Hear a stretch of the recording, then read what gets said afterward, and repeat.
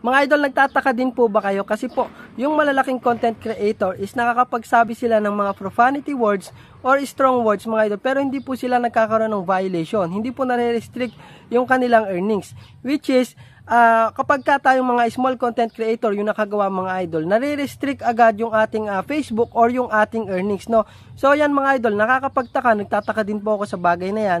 Hanggang ngayon po, napapaisip talaga ako, paano nila nagagawa yon Yung iba nga po mga idol, ginagawa pa nilang signature which is yun po yun, doon po sila sumisikat. Sa uh, signature nila na paulit-ulit nilang sinasabi yung MURA no? Ganun po. Paulit-ulit nilang sinasabi yon pero hindi po sila nagkaka-violation. Kumikita sila sa ganung bagay which is nagtataka talaga ako kasi uh, kapag kaya nga yung mga ano medyo offensive lang eh. Some, ano lang slight lang slight na offensive words pwede tayong magkaroon ng violation of bullying and harassment. Pero sila kahit paulit-ulit nilang sabihin mga idol di ba So, yon mga idol, no? Hanggang ngayon, hindi ko pa rin alam yung sagot dyan. Kaya naman, nag-post po ako patungkol dyan mga idol. At yan, ang dami nga na nag-comment. At uh, talagang totally hindi ko hindi pa malinaw sa atin kung ano nga ba, kung bakit at kung paano nangyayari yon mga idol. At kung alam mo yung reason tungkol dyan mga idol, i-comment mo naman para may idea din ako kasi napapaisip din talaga ako sa bagay na yan, okay?